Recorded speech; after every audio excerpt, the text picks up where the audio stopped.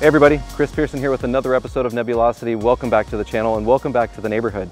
So we're here at the end of a beautiful summer season and fall is just around the corner. You can feel the air change. It's absolutely beautiful here in the Northern Hemisphere. So fortunate, we've had a few nights of, of clear skies and I'm not trying to jinx myself, but we've gonna, we're gonna have a few more. So using that window of opportunity, I'm gonna try to do a little bit of a challenge here and go after a narrowband object as well as a broadband object. Now, for those of you who are not familiar with those terms, broadband simply means all light or most of the light uh, spectrum, all of the visible wavelengths and some of the wavelengths that are invisible to humans. And in this case, I'm going to be going after the Andromeda Galaxy, uh, which is a beautiful, beautiful object just off, off of the uh, constellation Cassiopeia in the sort of eastern sky as the, as the night goes on. So I'm going to be shooting that for a couple of days and I'll be using a broadband filter. So I have the IDAS D2 LPS or light suppression filter.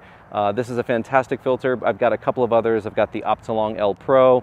Um, and honestly, if I wasn't in the light polluted skies I'm in here in the DC region, I'd probably just shoot, you know, without any filter, just go straight for the broadband data. So I'm gonna be using a one-shot color camera because I wanna try to capture as much data as I can with these nights, assuming that the clouds don't roll in.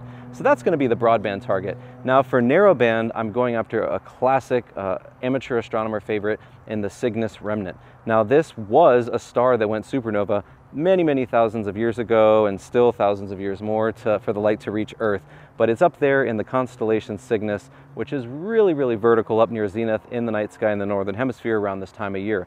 So I'm gonna be able to get a lot of good data and I'm gonna be using the, uh, I'll be using the Optolong L Extreme narrowband filter. This is a two inch variety of this filter. They also sell it as a clip-in for DSLR cameras like the one I'm using to film this uh, video right here. But I'm gonna thread this two inch filter into my imaging train and that's gonna isolate the hydrogen alpha gases that are coming out of that, uh, that supernova remnant. That, that ionized hydrogen gas gives off that red color, that red glow, and it also captures oxygen 3, which gives off the blue glow, and that gas is ionized. So really, really amazing object, and it's actually three in one. You've got sort of the Bat Nebula, you've got uh, the Witch's Broom, you've got Pickering's Triangle, all of it. And because I'm shooting with the RedCat, that wide angle lens, uh, I'm gonna be able to capture all of it in one shot. So that's really the name of this video, to get as many days on both of these objects as much as possible. Start with you know, the Cygnus remnant and as that sort of sets into the sky, turn over to Andromeda. And that's really, you know, it's something about astrophotography. If you've got your lineup and you know where the objects are gonna be and you're using Stellarium, hopefully you've watched that video where I had my sort of nine tips for beginner astrophotographers, you'll know that planning these kinds of things out where you can turn to one object, shoot it for a few hours, and then turn to another. Um, really, really helpful. And if you've got two, you know, two or more filters, you can throw a filter wheel onto your imaging train, uh, or you might just have a little, you know, uh, a little drawer, a filter drawer that you can, you know, remove uh, those those filters from. Um, and we'll, we'll see sort of how successful we are with it. But in any case, that's the point of this video. Hope you guys like it. And, uh, you know, leave a comment at the bottom if you saw something that you liked. If you, if you really love these objects, give them a shout out. They're two of uh, my absolute favorite. And uh, hopefully at the end, we've got something worth showing. See you soon.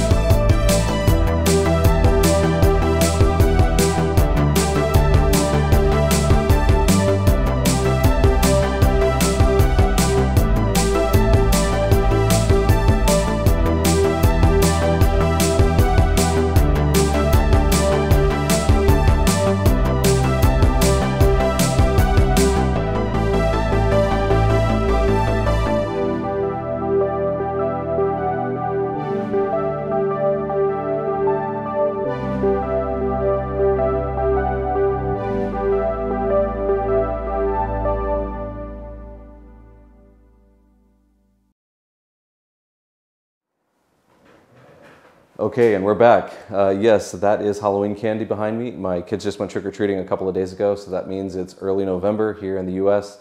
Uh, time flies when you're having fun, like a buddy of mine says at work very often. It's absolutely true, especially with astrophotography. So, welcome to my studio slash workstation. Uh, you know, my background is I work in international development and I manage programs all over the world. So, this is uh, this is my sort of little station here, and I use it for astrophotography editing as well. So you know, it's a small space, but it's a really it's a lot of fun, and i am happy to report that the past couple of months have been extremely productive. In addition to shooting the Cygnus loop, or the Cygnus remnant rather, and Andromeda, I've been able to get out to the coast, spend time with friends and family, just really prioritizing things in life that are equally important, you know, to astrophotography, and hopefully you guys are doing the same out there. Uh, beyond that, I've also gotten a lot of boxes in the mail the past couple of months, so definitely stay tuned. There's going to be a lot of good information uh, about sort of my, my journey, my continued journey into this hobby, and, and hopefully some tips and things around uh, uh, new experiences that you may be interested in as well if you're also new in the hobby. Having said that, the project itself, you know, the Andromeda Galaxy and Cygnus were very successful. Uh, Cygnus is, is just a, such a bright region, and when you have the narrowband filter like the Optolong L Extreme, you can just pour on more and more data. And because it was in sort of the upper portion of the atmosphere for a good portion of the early fall, it was just really easy to shoot. So in the end, I got somewhere between 15 to 20 hours on that and was just able to just crunch the data and keep the best of it. Uh, and, and ultimately, you know, the, the editing was great. So it wasn't very difficult, a lot of contrast the red, the blues, and the, in the background, you know. So you're, you're going to see it, and hopefully, uh, you know, if you like it, let me know. Give me that thumbs up or tell me, uh, you know, what you would do differently if you think that it could be improved. As far as Andromeda is concerned, that's a little bit of a different story. Editing galaxies is an entire different process. Now, you can get some natural colors for sure because you're shooting in broadband, so you're getting all those visible wavelengths. But even still, if you really want it to pop, you got to go through and you got to edit it piece by piece, starting with the core and sort of working your way out. So I did that, and I'd recommend you know you'd look at a number of uh, videos on on YouTube or elsewhere. Uh, of Astrofarsagraphy, I want to give him a shout out. He did a, a really great uh, you know tutorial with Photoshop on how to edit Andromeda. So you know I can drop a link in the description below for that. Uh, but there are a number of people who who have you know done a number of tutorials, and if you want you want me to show my tutorial on how I do Andromeda, drop a comment in the below, and maybe that'll be a, a future video. So in terms of Andromeda itself, I did a little something extra. I added hydrogen alpha to the image. So the end result is going to be an HARGB composite image. And with that, you'll be able to see some of those little red plumes of, of gas clouds throughout the, particularly the outer arms of Andromeda. It makes it look really cool. It gives a little extra zing to it, uh, you know, versus the, the regular picture. So overall, I feel really great about what was what I was able to accomplish over the eight days and you know nights of shooting and uh, I hope that you guys get out there and, and, take a crack at these objects, if not this year, as they're starting to set, you know, as we get later into the year, perhaps even next. But you could still squeeze a few hours out even now in early November. So let's go ahead and get to the reveal. Thanks again for everything and uh, hope you guys are having good luck with all of your projects. We'll see you here again in the neighborhood very shortly. Stay tuned for uh, more great content as we head into the holidays. Take care, be safe, and uh, we'll see you again.